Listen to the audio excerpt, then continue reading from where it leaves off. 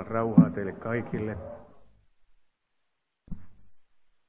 Näillä torstai-illan raamattu tunneilla me aina tutkimme tätä ensimmäistä Mooseksen kirjaa. Tämä on semmoinen raamattu koulu. Tämä on semmoinen aihe. Se on hyvä aihe. Eräs muukin henkilö raamatussa tutki ensimmäistä Mooseksen kirjaa. Hänen nimensä oli Joosua. Avataanpas Joosuan kirjan ensimmäinen luku. Ja luetaan siellä, sieltä jae kahdeksan. Joosua yksi kahdeksan. Jumala puhuu Joosualle. Ei sanota, puhuiko hän suoraan puhumalla profeetan kautta tai miten. Luulen, että hän puhui ihan suoraan ja sanoi näin.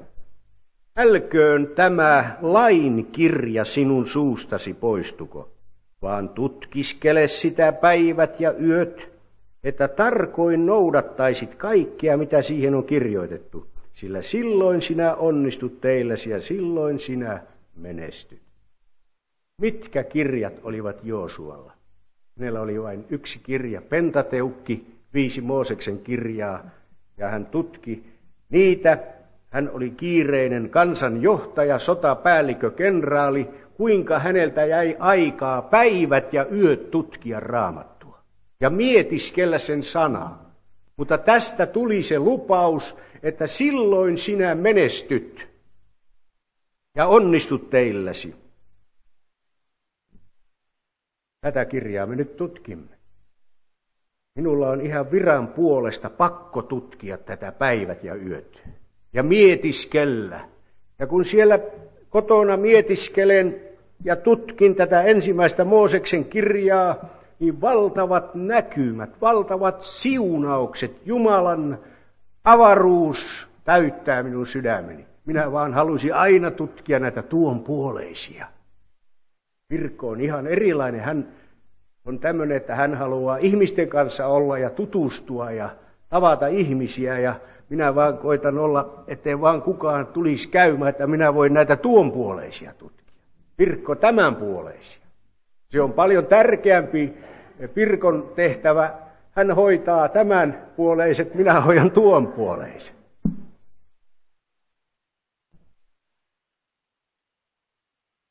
Tässä Luemme tänä päivänä ensimmäisen Mooseksen kirjan lukua 37.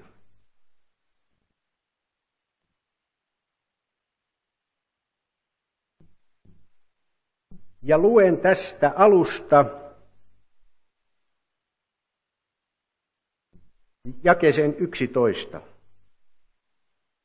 Mutta Jaakob asui siinä maassa jossa hänen isänsä oli oleskellut muukalaisena Kanaanin maassa. Tämä on kertomus Jaakobin suvusta. Kun Joosef oli 17 vuoden vanha, oli hän veljiensä kanssa lampaita paimentamassa. Hän oli nuorukaisensa, nuorukaisena isänsä vaimojen Bilhan ja Silpan poikien seurassa. Ja hän kertoi isälleen, mitä pahaa kuuli heistä puhuttavan. Ja Israel rakasti Joosefia enemmän kuin kaikkia muita poikiansa, koska hän oli syntynyt hänelle hänen vanhalla iällänsä, ja hän teetti hänelle pitkäliepeisen hihallisen ihokkaan. Kun, veljet, kun hänen veljensä näkivät, että heidän isänsä rakasti häntä enemmän kuin kaikkia hänen veljiensä, vihasivat he häntä, eivätkä voineet puhutella häntä ystävällisesti. Kerran Joosef näki uneen ja kertoi sen veljilleen. Sen jälkeen he vihasivat häntä vielä enemmän. Hän näet sanoi heille, kuulkaa, minkä unen minä olen nähnyt. Katso, me olimme sitovinamme lyhteitä vainiolla ja katso minun lyhteeni nousi seisomaan ja teidän lyhteenne asettuivat ympärille ja kumarsivat minun lyhdettäni. Niin hänen veljensä sanoivat hänelle, sinäkö tulisit meidän kuninkaaksemme, sinäkö hallitsisit meitä. Ja he vihasivat häntä vielä enemmän hänen uniensa ja puheidensa tähden. Ja hän näki vielä toisenkin unen, jonka hän kertoi veljilleen ja sanoi, minä näin vielä unen, katso aurinko ja kuu ja yksitoista tähteä kumarsivat minua. Ja kun hän kertoi sen isälleen ja veljilleen nuhteli hänen isänsä häntä ja sanoi hänelle, mikä uni se on, jonka sinä olet nähnyt, olisiko minun ja äitisi ja veljiesi tultava kumartamaan sinun etesi maahan. Ja hänen veljensä kadehtivat häntä, mutta hänen isänsä pani tämän mieleensä. Huomaatteko tässä luvussa nimen muutoksen? Jaakob muuttuu Israeliksi. Ensi kertaa raamattu nyt nimittää Jaakobia Israeliksi.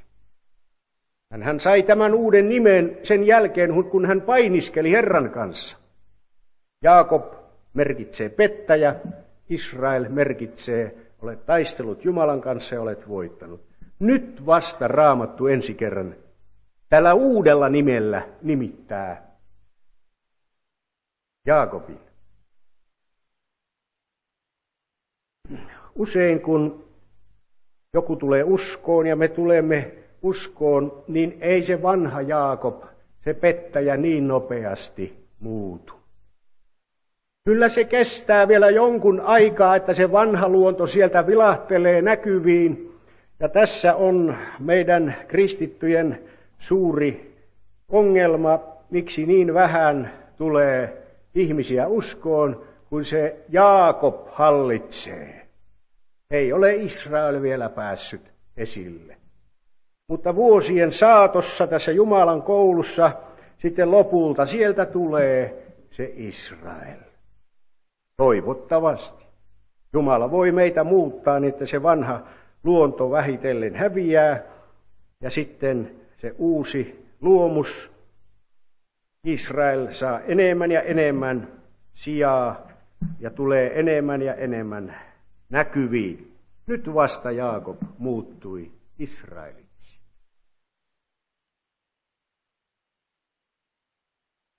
Sitten menemme Joosefiin. Joosef ja kertomus Joosefista on raamatun kauneimpia kertomuksia. Se on koko ihmiskunnan historian valtavin kertomus. Sillä se on totta.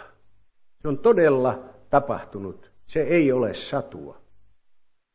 Ja mikä tekee sen niin kauniiksi? Joosefin jalo luonne jo nuoruudesta asti. Ja se, että se heijastaa ihmeellisesti meidän Herraamme Jeesusta. Hänen elämän vaiheitaan, tapahtumiaan, kärsimistään ja ylentämistään. Joosefin koko elämä oli profetallinen, joka etukäteen tällä tavalla heijasti Jeesuksen elämän vaiheita. Ensimmäisessä Mooseksen kirjassa on niin monta Jeesuksen esikuvaa. Kerran Anna-Liisa kysyi minulta, miksi niitä on niin monta, kun jo Aadam oli Jeesuksen esikuva paitsi lankeemuksessa, kun jo Aabel oli Jeesuksen esikuva, Iisak, ja nyt taas Joosef. Rakkaalla lapsella on monta nimeä. kaikki Jumala Kaikkein tärkeintä asiaa tuo, yhä uudestaan ja uudestaan esille Jumalan sanassa, että me syvästi ymmärtäisimme Jeesuksen ihmeellisen persoonan ja työn.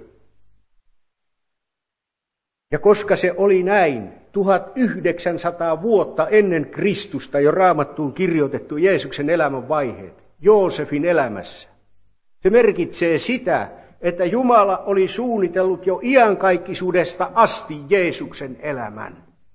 Ei se ainoastaan silloin tapahtunut, kun Jeesus eli, vaan se oli jo suunniteltu, harkittu ja valmiiksi valmistettu jo taivaissa ennen iankaikkisia aikoja.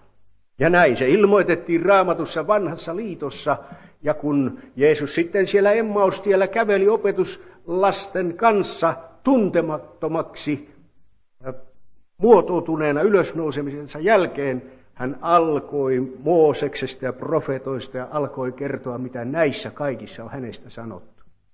Oli varmaan valtava raamattutunti, kun hän siellä Joosefistakin varmaan mainitsi. Kyllä Jumala on sinunkin elämäsi suunnitellut. Sinä vaan et usko sitä, etkä tiedä. Kyllä se on Jumalan taivaassa tiedossa, miten sinun elämäsi kulku menee. luota taivaallisen isään. Kaikki on hallinnassa. Älä luulekaan, että se menee ihan noin vaan, että paholainen sinua heittelee. Kyllä siellä on hommat hanskassa, kunhan sinä vaan pysyt kiinni Jeesuksessa, kaikin voimin. Jumala suunnitteli. Raamatussa kerrotaan kymmenen täyttä lukua, 12 lukua osittain Jeesu, tuosta Joosefista. Muuten jos minä sanon täällä väärin ja puhun väärää teologiaa, käsi pystyyn heti ja huomauttakaa siitä, sillä tämä ei ole tuomiokirkko. Täällä saa istua ihan vapaasti ja toimia, jos vahingossa sanon väärin tai tietoisesti. Osa tästä Joosefin elämän profetiasta on jo toteutunut. Jeesuksen kärsiminen ja kuoleminen. Mutta osa on vielä toteutumatta. Kun hän sieltä kunnian istuimelta alkaa jakamaan siunauksia veljilleen.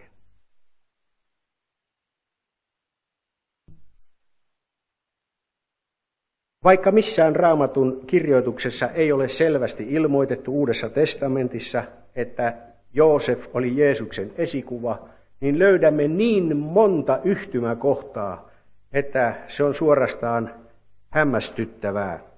Ja ainakin seitsemän kohtaa nyt voin luetella, missä hänen elämänsä on samankaltaista kuin Jeesuksen elämä.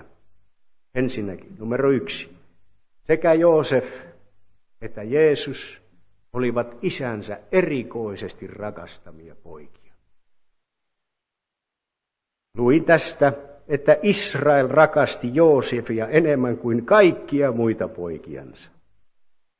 Ja Jeesuksesta sanotaan Johanneksen evankeliumin luvussa kolme, jakeessa 35,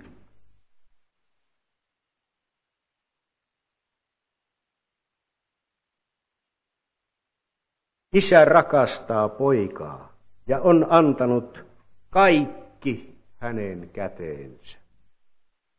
Ja Johannes 5.20 sanoo, sillä isä rakastaa poikaa ja näyttää hänelle kaikki, mitä hän itse tekee. Ja hän on näyttävä hänelle suurempia tekoja kuin nämä, niin että te ihmettelette. Isä rakasti poikaa. Toiseksi, Molempia vihasivat heidän veljensä. Veljet vihasivat katkeralla murhan himolla niin Joosefia kuin Jeesusta. Johannes 15, 25. Ja aloitetaan jakeesta 23, Johanneksen evankeliumin luku 15 ja 23. Joka vihaa minua, se vihaa myös minun isääni. Jos minä en olisi tehnyt heidän keskuudessaan niitä tekoja, joita ei kukaan muu ole tehnyt, ei heillä olisi syntiä, mutta nyt he ovat nähneet ja ovat vihanneet sekä minua että minun isäni. Mutta se sana oli käyvä toteen, joka on kirjoitettuna heidän laissaan. He ovat vihanneet minua syyttä, syyttä. Täysin syyttömänä Joosef veljensä vihaan sai vastaan ottaa. Kolmanneksi, molempien veljet torjuivat heidän väitteensä, että he olivat veljiään korkeammassa asemassa. Jeesus sanoo, tai Jeesuksesta sanotaan, hän tuli omiensa tykö ja hänen omansa eivät ottaneet häntä vastaan. Neljänneksi molempien veljet tekivät salaliitossa päätöksen tappaa heidät. Niin Joosefin veljet kuin Jeesuksen juutalaisveljet. Matteuksen evankeliumin luku 26, jae 3, 3, 3 ja 4.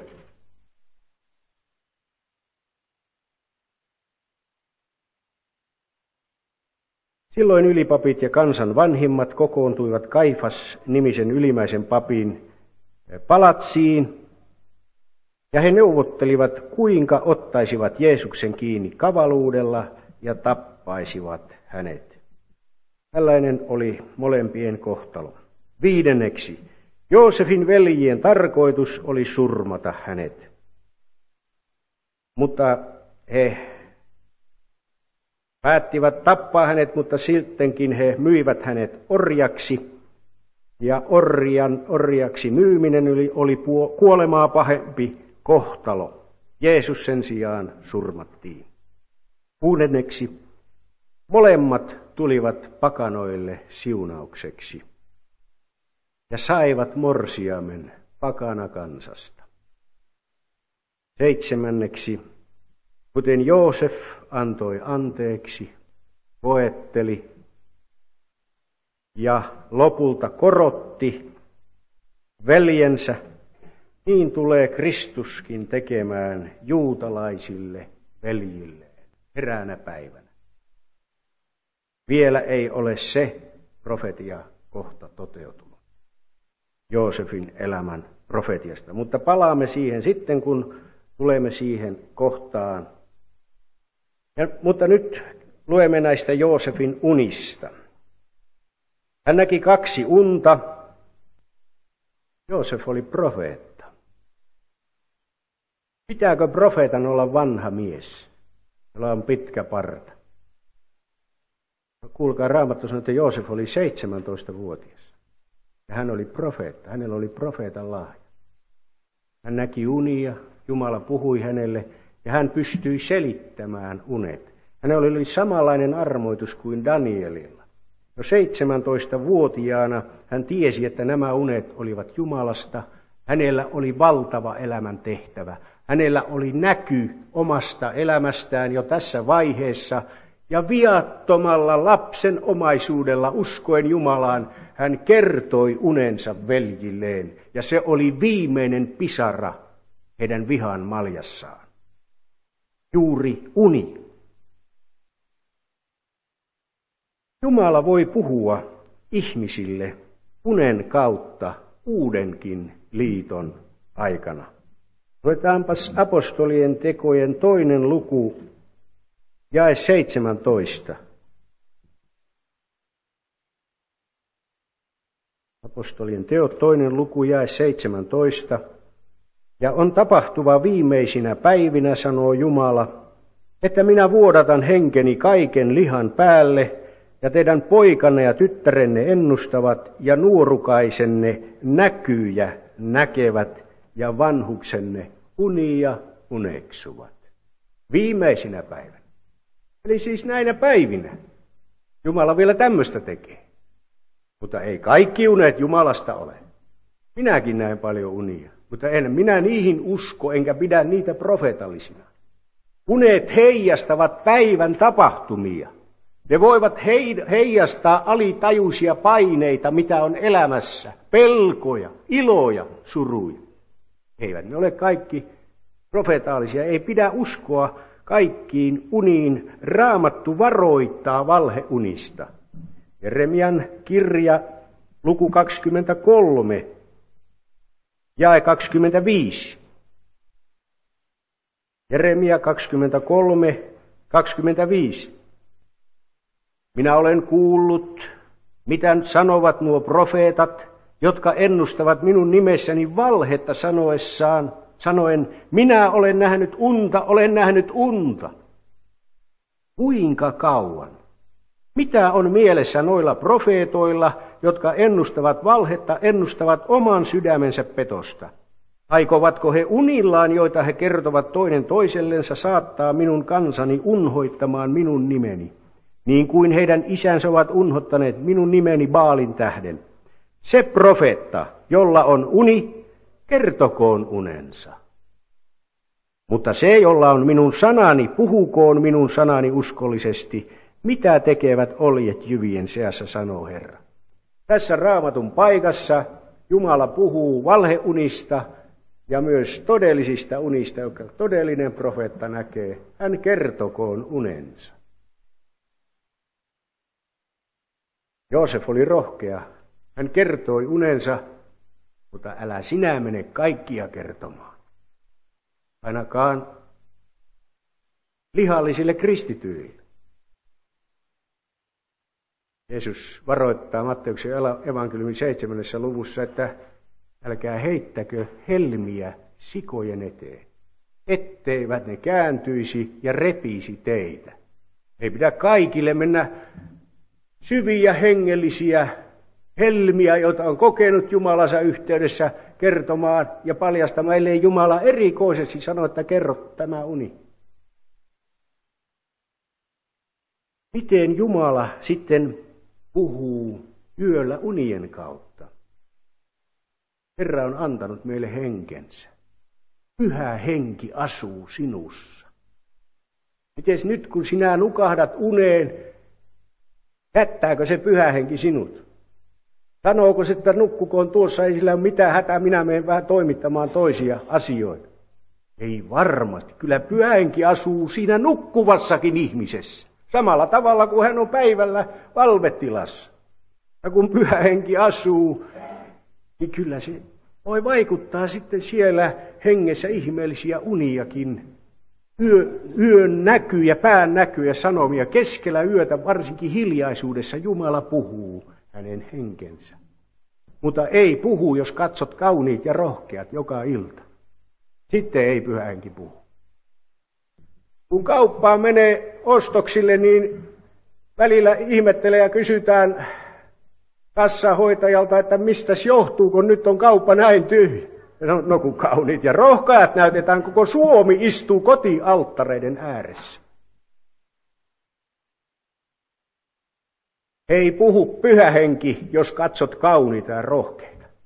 Puhuu siinä olevat salakavalat demonihenget. Täytyy olla äärettömän varovainen television kanssa, että ei kaikkea sieltä omaksu, mitä sieltä tulee. Jumala puhuu lopun aikanakin. Vanhukset unia uneksuvat. Jumalan unia. Se on valtavaa, kun Jumala unia saa nähdä. Se on ihmeellistä. Mutta maailman ihminen ei voi ottaa tällaisia vastaan, vaikka niitä kertoisikin. Luonnollinen ihminen, sanoo korintolaiskirja. Luonnollinen ihminen ei ota vastaan sitä, mikä Jumalan hengen on. Sillä se on tutkiskeltava hengellisesti. Ettekö nyt muuten, että on luonnollisia ihmis, uskovaisia ja hengellisiä uskovaisia? Minä aina luulin, että jako tapahtuu vasta silloin, kun ylkä tulee. Silloin jako tapahtuu, mutta minä huomaan, että jako on käynnissä juuri nyt hengellisiin ja luonnollisiin uskoviin. Rakkaat ystävät, tutkikaa sielunne tilaa, millä puolella te olette. Jako tapahtuu. Olettehan siellä Karitsan morsiamen puolella, joka kerran nousee Jumalaa vastaan. Etsikää sitä, mikä on Jumalan hengen. Ja Jumala vieläkin puhuu. Jumala elää. Jeesus vaikuttaa. Hänellä on valtava voima. Joosefin unet olivat merkityksellisiä. Ne viittasivat tuleviin aikaan ja ne aikanaan toteutuivat. Ja siitä me tunnemme oikean profeetan ja väärän profeetan.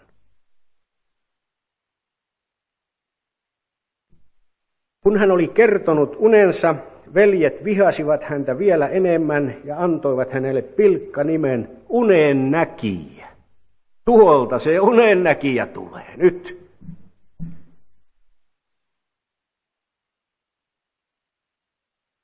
Oli kolme seikkaa, jotka vaikuttivat vihaa veljissä, oli juuri nämä profeetalliset unet, siis profetian henki aiheutti tällaisen vihareaktion näissä ihmisissä. Kuulkaa, luonnollinen ihminen kyllä ottaa vastaan myönteisiä profeetan sanomia. Juu, kiitos, olipa hyvä sanoma. Mutta jos kohti käyvä profetia tulee, niin luonnollinen ihminen nousee tällaista sanomaa vastaan. Ja niin he nousivat Joosef veljeä vastaan. Hänen profeetallinen henkensä aiheutti tämän. Isän rakkaus oli toinen syy vihaan, ja isän rakkaus ilmeni tässä pitkäliepeisessä ihokkaassa, joka isä rakkaudessaan teki. Ja poika käyskenteli siinä. He tahtoivat repiä murhan himossaan tuon pitkäliepeisen ihokkaan, ja me näemme, että Kristus viha jo vanhassa testamentissa ilmeni tällä tavalla. Ja kun tämmöinen kateus ja katkeruus sai siellä oikein veljien sydämessä kasvaa, niin se on otollista maaperää sielun viholliselle kylvää siemen. Se johti murhan himoon asti. Meidän Herramme Jeesuskin tiesi oman tehtävänsä jo varhain, nuorena. Ja kun hän julisti ensimmäisen kerran kotikaupungissaan Nasaretissa, hän avasi kirjan ja profetallisessa hengessä julisti, niin he kiristelivät hampaitaan, ottivat hänet jyrkänteelle ja tahtoivat syöstä hänet alas, mutta hän käveli pois heidän keskitsensä. Jeesus vaelsi viattomana syntisen, juonittelevan ja panettelevan sukukunnan keskellä – Samoin Joosefkin oli siellä Bilhan ja Silpan poikien seurassa paimenessa, ja nämä olivat pahoja poikia. Hän kertoi isälleen, mitä pahaa kuuli heistä puhuttavan, mutta hän ei osallistunut heidän pahuuteensa. Nuori ihminen voi elää huonossa seurassa, jos hän välttämättä joutuu siinä olemaan myöskin säilyttäen puhtautensa ja vanhurskautensa.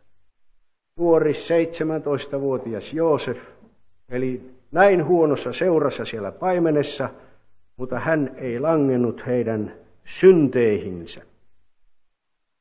Mitta tilauksena isä Israel teetti tämän puvun ihokkaan. Meidän Herramme Jeesuksellakin oli semmoinen saumaton ihokas tehty. Se oli semmoinen rakkauden osoitus. Ja se viitta, se ihokas oli merkki isän rakkaudesta Joosefille. Ja Israel teki sen sitä varten, että Joosef peri esikoisoikeuden Ruubenin sijaan. Ruuben oli vanhin veli, mutta hän lankesi raskaaseen syntiin, ja niin esikoisoikeus siirtyi Joosefin pojille. Se on kirjoitettuna ensimmäisen aikakirjan viides luku, jae yksi. Ensimmäinen aikakirja viides luku, jae yksi. Tässä sanotaan, Ruubenin, Israelin esikoisen pojat olivat, hän oli näet esikoinen. Mutta koska hän saastutti isänsä vuoteen, annettiin hänen esikoisuutensa Joosefin, Israelin pojanpojille, kuitenkin niin, ettei heitä merkitty sukuluetteloon esikoisina. Ruubenin esikoisuus siirrettiin toiselle. Ja esikoisoikeus raamatussa on taivas osa Uudessa testamentissa. Se voidaan ottaa poiskin. Se voidaan antaa jollekin muulle. Ilvoitelkaa, rakkaat ystävät, teille on annettu esikoisoikeus taivaassa. Mutta se voidaan antaa toisellekin, jos et valvo. Kyllä siellä Ukandassa on monta ottajaa ja Afrikassa, jotka mielellään ottavat sen esikoisoikeuden. Kokonainen kansakunta, Israel, sai Jumalalta esikoisoikeuden. Raamattu kertoo, että Israel oli hänen esikoispoikansa, Jumalan. Ja hän, Israel menetti sen ajaksi. Ja nyt siksi ajaksi tuli pakanat esikoisasemaan. Nyt on pakanain aika. Ja nyt pakanoita kerätään esikoisten juhlajoukkoon. Ja se puhuu kristityistä, jotka seurakunnassa ovat taivaissa kirjoitettujen esikoisten juhlajoukossa. Mutta pian pakanain ajat päättyvät, alkaa jälleen esikoispojan aika, Israelin aika. Ja sitten heitä alkaa pelastua. Kristus oli esikoinen, esikoinen kuoloon nukkuneiden joukossa, ja hän nousi kuolleista esikoisena. Ja nyt Kristuksessa olevat pysyvät ja ovat tässä esikoisasemassa yhdessä Jeesuksen kanssa. Ja siitä meille on annettu sinetti ja vakuutus, aivan kuin etumaksu, ja se on pyhään hengen sinetti tästä esikoisoikeudesta.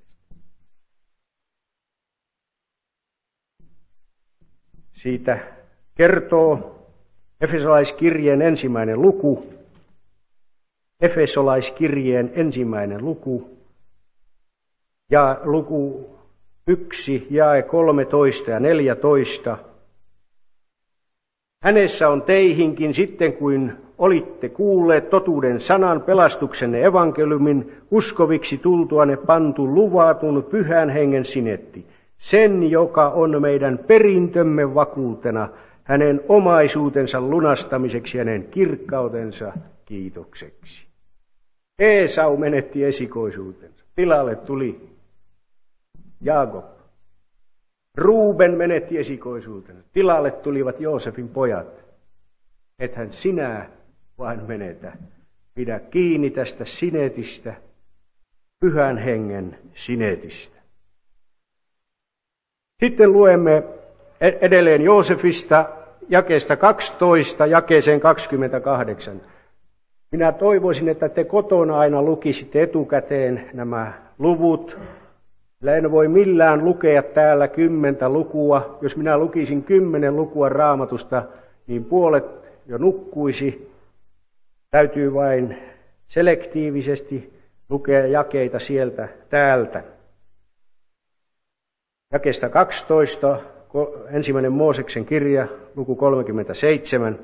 Kun hänen veljensä olivat menneet kaitsemaan isänsä lampaita Sikemiin, sanoi isä Joosefille, sinun veljesi ovat paimenessa Sikemissä. Tule, minä lähetän sinut heidän luokseen. Ja hän vastasi, tässä olen. Ja hän sanoi hänelle, mene katsomaan kuinka veljesi ja karja voivat, ja kerro sitten minullekin. Niin hän lähetti hänet matkalle Hebronin laaksosta ja hän tuli Sikemiin. Isä lähetti poikansa katsomaan, miten veljet jaksavat. Isällä on huoli, miten jaksetaan. Ja muuan mies kohtasi hänet, hänen harhaillessaan kedolla, ja mies kysyi häneltä, mitä etsit? Hän vastasi, minä etsin veljiäni. Jeesus etsii veljiään. Sano minulle, missä he ovat paimentamassa. Mies vastasi, he lähtivät pois täältä, sillä minä kuulin heidän sanovan, menkäämme Dootaniin. Niin Joosef meni veljensä jäljissä ja löysi heidät Dootanista. Kun he kaukaa näkivät hänet ja ennen kuin hän saapui heidän luokseen, pitivät he neuvoa tappaakseen hänet. Ja he sanoivat toisillensa, katso, tuolla tulee se unen näkijä. Tulkaa, tappakaamme nyt hänet ja heittäkäämme hänet johonkin kaivoon ja sanokaamme, villipeto on hänet syönyt. Saammepa sitten nähdä, mitä hänen unistaan tulee. Kun Ruuben sen kuuli, tahtoi hän pelastaa hänet heidän käsistään ja sanoi, älkäämme lyökö häntä kuoliaaksi. Vielä Ruuben sanoi heille, älkää vuodattako verta, heittäkää hänet tähän kaivoon, joka on täällä erämaassa, mutta älkää satuttako kättäne häneen, hän näet tahtoi pelastaa hänet heidän käsistään, saattaaksensa hänet takaisin isänsä tykö. Kun Joosef sitten tuli veljensä luo, riisuivat he Joosefilta hänen ihokkaansa – pitkäliepeisen hihallisen ihokkaan, joka oli hänen yllään. Ja ottivat hänet ja heittivät hänet kaivoon, mutta kaivo oli tyhjä, siinä ei ollut vettä.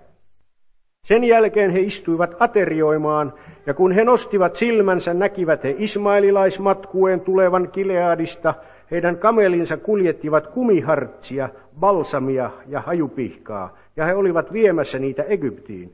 Silloin Juuda sanoi veljillensä, mitä hyötyä meillä on siitä, että surmaamme veljemme ja salaamme hänen verensä. Tulkaa, myykäämme hänet ismaililaisille, mutta älköön käteemme sattuko häneen, sillä hän on meidän veljemme, meidän omaa lihamme, ja hänen veljensä kuulivat häntä. Kauppiat menivät siitä ohitse, vetivät veljet Joosefin ylös kaivosta, ja he myivät Joosefin kahdesta kymmenestä hopeasekelistä ismaililaisille. Nämä veivät Joosefin Egyptiin. Pitkä liepeisessä ihokkaassa Joosef etsi veljiään sieltä erämaasta. Hän kulki heidän jäljessään. Samoin taivallinen isä lähetti Jeesuksen veljensä jäljessä kulkemaan, mutta he eivät ottaneet häntä vastaan. Kateelliset veljet nähdessään Joosefin alkoivat suunnitella murhaa. Ja myöskin Jeesuksen kuolema oli etukäteen harkittu murha.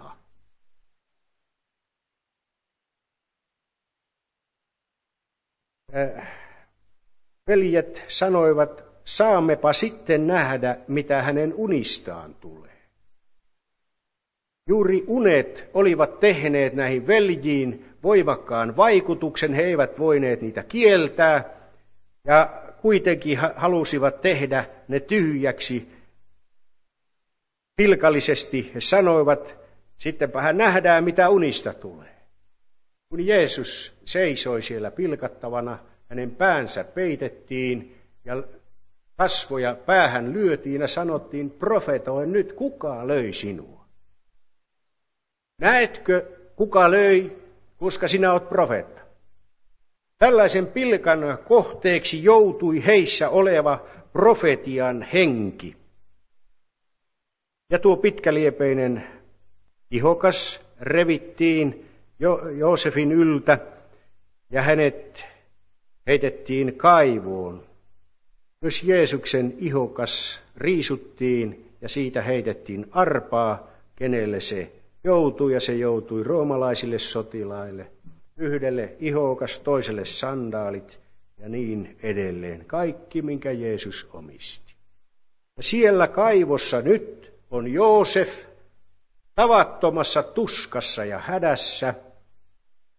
Hän luuli, että veljet nyt tänne hänet jättävät ja hän kuolee tänne tuskallisen kuoleman, mutta veljet istuivatkin kaivon reunalle ja alkoivat hyvällä ruokahalulla aterioi. Kyllä piti olla kova sydämiset veljet, ja me osoitamme heitä, että tuommoiset veljet, mutta samalla osoittaa peukalo meihin itseemme, sillä me olemme noiden veljien asemassa. Kehitysapumaista kuuluu huuto, meillä on nälkä, auttakaa, mutta me vaan katselemme tuolla valintamyymälässä, mistä olisi parhaimpia herkkuja meidän omiin pöytiin. Varmaan kovasydämiset veljet kuulivat itkut ja tuskan huudot sieltä kaivon syvyydestä. Veljet, armahtakaa minua! Mutta ei minkäänlaista säälin osoitusta, vaan he osoittivat suurta välinpitämättömyyttä ja sydämen kovuutta Joosef veljeä kohtaan. Uskonnollinen viha, hengellinen viha, joka tällä tavalla sielun vihollinen vaikuttaa, tekee ihmissydämen näin kovaksi. Jeesuskin vietiin, kun hänet kiinni otettiin ylimäisen papin kellariin, odottamaan aamun koittoa ja kuulustelua. Tuo kellari on vieläkin siellä Jerusalemissa. Sitä näytetään matkailijoille. Kiviseinissä on renkaita, joihin mahdollisesti Jeesus on kiinnitetty ollut, kun hän siellä tuskissaan huokailee samoja tuskia, mitä profeetta Joosef joutui kärsimään Kristuksen tuskia jo 1900 vuotta aikaisemmin kaivossa. Salmi 22 kertoo näistä tuskista, jota Jeesus koki ylimäisen papin kellarissa ja myöskin Kolkatan ristillä. Siinä sanotaan jakeessa seitsemän, mutta minä olen mato enkä ihminen, ihmisten pilkka ja kansan hylky. Ja viistoista, niin kuin vesi minä olen maahan vuodatettu. Kaikki minun luuni ovat irti toisistansa, minun sydämeni on niin kuin vaha, se on sulanut minun rinnassani ja niin edelleen. Salmi kuvaa niitä tuntemuksia, joita Herrallamme oli, kun hän kärsi meidän syntiemme tähten. Ja kun hän siellä ylimmäisen papin kellarissa sidottuna kahleisiin oli, sitä ei raamatussa kerrota, mutta se on tapahtunut. Niin ympärillä juhliva Jerusalem syö pääsiäislammasta, on pääsiäisjuhlat, ja lammaspaistin tuoksu tunkeutuu sinne ylimäisen papin kellarin vankiluolaan Jeesuksenkin luokse. Sitten Ruuben keksii keinon. Ei tapeta veljeä, myydään hänet orjaksi, sillä ismaililainen karavaani lähestyi.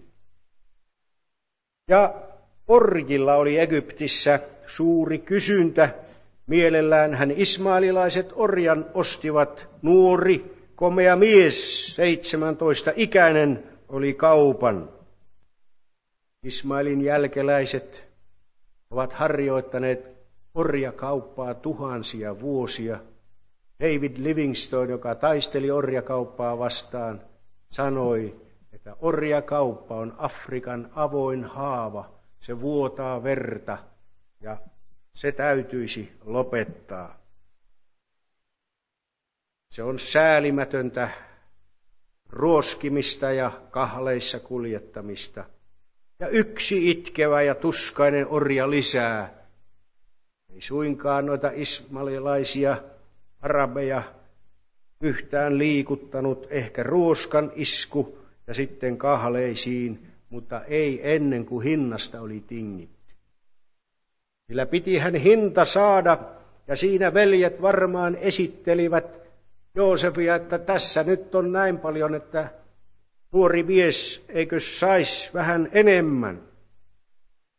Mutta eivät nämä nuukat arabit sitten maksaneet kuin 20 hopea rahaa, joka on vain noin 75 markkaa. Niin halvalla myytiin Joosef Jeesus myytiin vähän kalleimmalla 30 hopearahaa maksettiin hänen hengestään. Ja sen maksoivat kitsaat ylipapit vielä kitsaamalle Juudas Iskariotille, joka heitti nuo kolikot sinne temppelin kivilattialle. Matkuessa oli muutakin. Siinä kuljetettiin kumihartsia, balsamia ja hajupihkaa. Balsami oli hyvin kysyttyä tavaraa Egyptissä, sillä heidän tapansa oli balsamoida ruumiit. Ja sitä ostettiin vaikka kuinka paljon. Balsami oli erään puun hartsimaista pihkaa. Egyptiläisillä oli taito tehdä muumioita kuolleista. Jollain keinolla, jota ei vieläkään tunneta, he poistivat kuolleesta nesteet, sillä nesteet aiheuttavat sen ruumiin mätänemisen.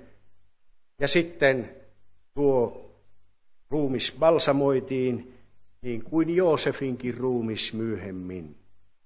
Uskottiin, että sillä tavalla hän elää iankaikkisesti. Mutta kuulkaa, meillä on parempi toivo meidän ruumiillemme kuin tuo palsamointi, että siellä jossain pölyisessä haudassa palsamoituna eletään tuhat vuotta – Meillä on ihanampi toivo, se on ylösnousemustoivo. Sillä taivaassa monet jo men, sinne pois menneet ja odottavat sitä hetkeä, heidän ruumiinsakin tulee. He pääsevät siinä ruumiissakin. He ovat vielä vajavaisia. Heillä on vain henki ja sielu siellä Jumalan luona. Mutta he odottavat sitä valtavaa hetkeä, kun Jeesus tulee ja kuolleet nousevat katoamattomina ja me muutumme ruumiineen päivin. Se on sellainen balsamointi, joka elää siinä, ei tarvita kumipihkaa, eikä hartsia, eikä puun pihkoja, eikä muita menetelmiä, vaan siellä eletään iankaikkisesti ruumiineen päivineen.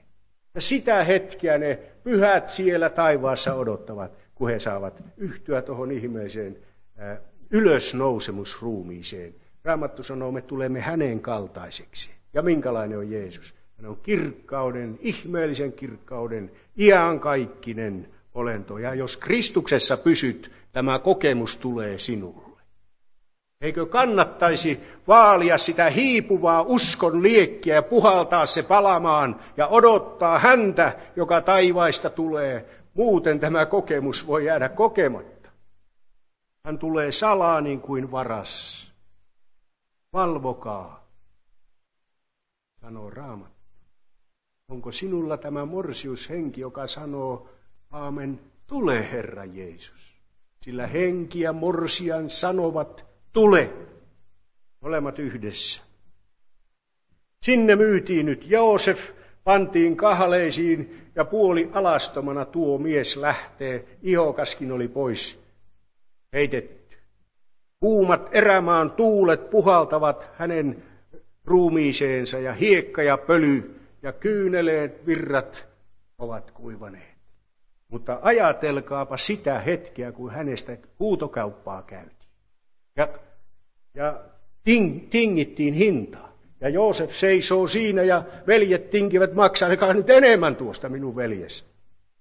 Virko on kova tinkimään, minä en kehtaisi tinkiä millä. Aina pysähtyy tinkimään sinne kauppoihin ja jättää minua nolottaa se tinkiminen. Mutta se tinkiminen kuuluu sen maan ja etelämaiden kaupan käyntiin. Vaatimattomat 20 hopearahaa oli hinnaksi arvioitiin profeetasta. Ja ajatelkaa, Joosef ei koskaan vaatinut tätä rahaa takaisin veljiltä. Päinvastoin hän osoitti mitä suurinta anteliaisuutta. Ensimmäinen Mooseksen kirja, luku 42, jae 25. Luku 42 ja 25. Ja Joosef käski täyttää heidän säkkinsä viljalla ja panna jokaisen rahat takaisin hänen säkkiinsä sekä antaa heille evästä matkalle. Ei kuristanut kurkusta, että missä se 20 hopearahaa, millä minut möitte. Täydellinen anteeksi antamus veljiä kohtaan. Ei minkäänlaista syytösmieltä. Ja nyt tulemme siihen kohtaan, että paitsi Je- Joosefin elämän vaiheita, hänellä oli myös Jeesuksen kaltainen mieli. Joosef nimi merkitsee hän, Herra lisää ja kartuttaa. Hän oli mieleltään Jeesuksen kaltainen kolmessa kohdassa. Ensinnäkin kärsimisessä. Hän ei taistellut yhtään vastaan, kun veljet paiskasivat kaivoon. Vetivät ihokkaan pois päältä ja niin edelleen.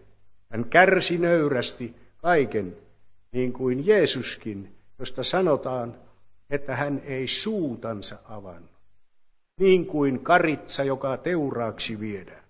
Toiseksi, hän oli tä- Jeesuksen kaltainen veljes rakkaudessa. Hän antoi täydellisesti anteeksi ja unohti kaiken vääryyden. Siihen tulemme myöhemmin. Kostamisessa. Hän ei koskaan kostanut. Mutta unien piti toteutua, että lyhteet kumarsivat hänen lyhdettään, koska unet tuli Jumalalta. Hän vastasi pahan hyvällä, ja tähän me olemme kutsut. Raamattu sanoo, olkoon teillä Kristuksen mieli. Ja tämä Kristuksen mieli, se on ase. Se on ase. Se on ensimmäisen Pietarin kirjeen luvussa neljä. Ensimmäisen Pietarin kirjeen luku neljä.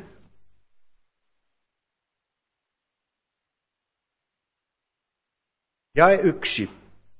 Koska siis Kristus on kärsinyt lihassa, niin ottakaa tekin aseeksenne sama mieli, sillä joka lihassa kärsii, se lakkaa synnistä.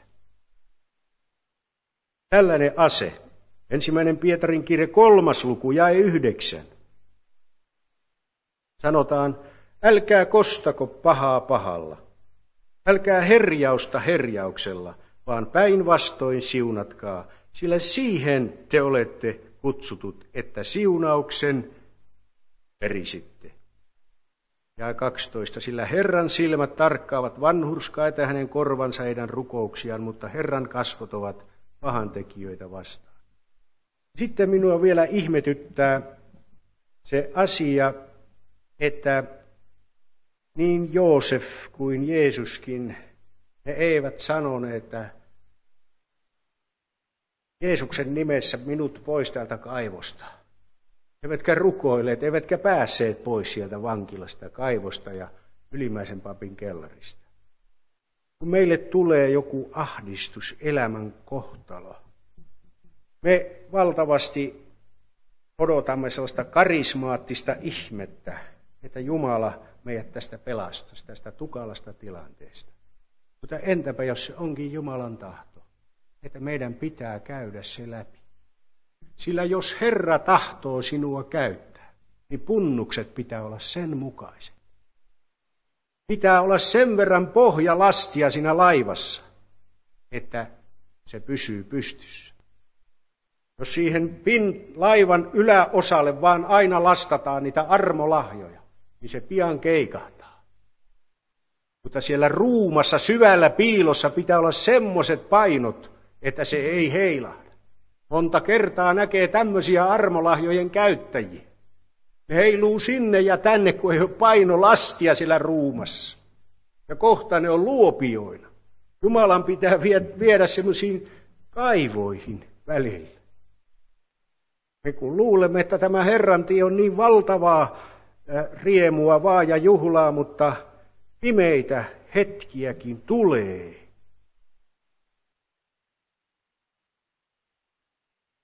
Jaakobilla oli valtava suru poikansa tähden. Luemme siitä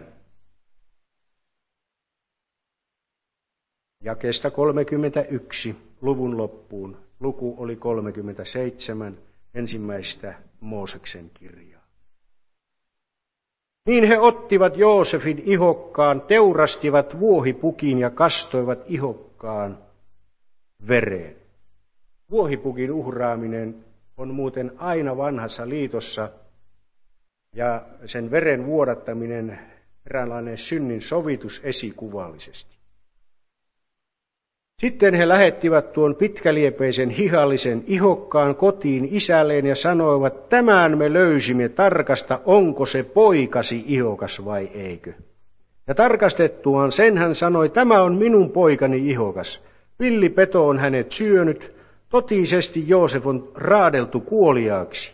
Ja Jaakob repäisi vaatteensa, pani säkin lanteilleen ja suri poikaansa pitkät ajat. Ja kaikki hänen poikansa ja tyttärensä kävivät häntä lohduttamaan, mutta hän ei huolinut lohdutuksesta, vaan sanoi, murehtien minä menen tuonelaan poikani tykö, ja hänen isänsä itki häntä. Mutta midianilaiset myivät hänet Egyptiin Potifarille, joka oli Faaraon hoviherra ja henkivartijan päämies. Koko Joosefin elämä oli Eräs pääteema oli hänen elämässään toisten tähden, toisten tähden. Sitä varten hänen piti siellä kaivossa olla, että hän ne samat veljet pelastaisi. Ymmärrätkö? Niin kaukaa piti mennä. Niin meidän Herrammekin, kun me vielä olimme syntisiä, hän kuoli meidän edestämme. Ja kun me nyt osoitamme sormillamme näitä Joosefin veljiä, kuulkaa, me olimme niitä Joosefin veljiä. Me istuimme siellä kaivon reunalla. Me möimme meidän Herramme, meidän kurjilla synneillämme. Me hänet ristiin naulitsimme. Mutta hän kuoli meidän tähten. Ja Jaakobin suru oli pohjaton. Hän oli iältään jo vanha mies tässä. Hän oli 108-vuotias. Hänen sydämensä murtui tuon rakkaan ainoan poikansa tähden. Veljien täytyy keksiä alibi peittääkseen hirvittävän synnin ja rikoksen. Vuohi teurastettiin ja sen verta käytettiin tämän rikoksen peittämiseen. Sillä voideltiin tuo rakkaas ihokas, jonka isä oli tehnyt, ja vietiin ja sanottiin, onko tämä sinun poikasi ihokas. Huomaa, ei meidän veljemme ihokas, vaan sinun poikasi ihokas. Kun omaa tunto syyttää, kun synnit ovat siellä tunnolla, niin aina koitetaan keksiä tämmöisiä puheita, mitkä ei vihjaiskaan sinne päin, että semmoinen homma on tullut tehtyä. Kun synnit painoivat, että oli veli sillä tavalla kavallettu, niin eihän hän meidän veljemme ollutkaan. Se oli vaan se Jaakobin poika. Mutta häntä ei ole enää. Synnin tekijä valitsee sellaisen sanan, joka ei pistä omaan tuntoon. Ja välttääkseen oman tuntonsa syytöksen he eivät halunneet pitää Joosefia edes veljenään. Nyt isän suru oli hyvin lohduton. Vuoron perään kaikki kävivät lohduttamassa. Sanotaan, että tyttäretkin kävi. Eihän Jaakobilla ollut kuin yksi tytär, Diina, mutta varmasti poikien vaimotkin laskettiin tyttäriksi. He olivat, hän oli kuin isä heille, he olivat kuin hänen omia tyttäriään. Kaikki kävivät lohduttamassa myös Joosefin veljet. Ja on vaikea todellakin käsittää tätä veljien tekopyhää lohdutusta. Että he olivat tuon Joosefin myyneet, kavaltaneet, tappaneet ja nyt menevät lohduttamaan. Näin nämä murhaajat esiintyivät viattomina sielun hoitajina. Jaakobin sielua hoidettiin tällaisella lohdutuksella, älä nyt itke. Synti ja syyllisyys saattaa joskus verhoutua ja kätkeytyä niin hurskaaseen, jumaliseen ja tekopyhään naamioon, että sitä ei voi uskoa. Ja tällaiset sielunhoitajat mutta heidän sielunhoidostaan ei paljon ollut hyötyä eikä apua, sillä hän ei huolinut lohdutuksesta, sanoo Raamattu. Ja kun nyt Jaakob edelleen suree, niin Raamattu sanoo murehtien, minä menen Tuonelaan poikani tykö. Tuonela. Vaivan paikkahan se on. Luukkaan 16. luku, kun rikas mies kuoli, niin hän Tuonelassa vaivoissa ollessaan nosti silmänsä ja näki siellä Abrahamin toisella puolella. Joskus suuri suru, raskas menetys, kuoleman tapaus perheessä saattaa niin pimentää taivaan, ettei pelastuksen toivoakaan edes näe. Näyttää, että ei Jumala enää minua kuule. Näin suuri murhe voi jopa uskonkin himmentää ja pimentää. Minä menen tuonelaan, poikani tykö. Murehtien ja isä häntä. Mutta tässä on esikuva taivaallisen isän surusta. Kun hän suri omaa rakasta poikaansa kolkatalla, isän rakkaus oli suuri poikaansa kohtaan mutta myös suru, kun poika joutui kärsimään. Ajattelehan, jos sinun lapsesi joutuisi ristiin naulittavaksi kaiken kansan nähden rikolliseen. Eikö sydämesi särkyisi tästä? niin taivaallisen isänkin sydän. Niitä kertoo Matteuksen evankeliumin luku, kun Jeesus ristiin naulittiin.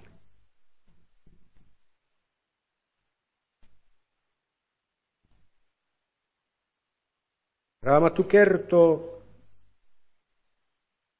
siitä, niin Jeesus taas huusi suurella äänellä ja antoi henkensä – ja katso temppelin esirippu repesi kahtia ylhäältä alas asti, ja maa järisi ja kalliot halkesivat, ja haudat aukenivat ja monta nukkuneiden pyhien ruumista nousi ylös, ja he lähtivät haudoista ja tulivat hänen ylösnousemisensa jälkeen pyhään kaupunkiin ja ilmestyivät monelle. Mutta kun sadan päämies ja ne, jotka hänen kanssaan vartioitsivat Jeesusta, näkivät maanjäristyksen ja mitä muuta tapahtui, peljästyivät he suuresti ja sanoivat totisesti, tämä oli Jumalan poika. Kello yhdeksän Jeesus ristiinnauluttiin. Kello 12 tuli täydellinen pimeys. Jumala, taivaallinen isä, murehti niin syvästi, että suuri pimeys verhosi koko maan piirin. Oli kuumaa, tavaton kuumuus, sirokko, tuuli puhalsi niin kuin ukkosilman ennen. Ennen ukkosilmaa pölyä ja hiekkaa lensi Jeesuksen haavoihin. Myös kärpäset surisivat. Kuulkaa, se on realistista. Se ei ole puleerattu risti eikä kullattu risti, vaan se oli karkea ja rosoinen, piikkinen risti, jossa hänen ristiin naulittiin. Ja isä taivaassa murehti ja itki. Ja hän aivan kuin vapisi itkusta, sillä maakin vavahteli maan järistyksessä.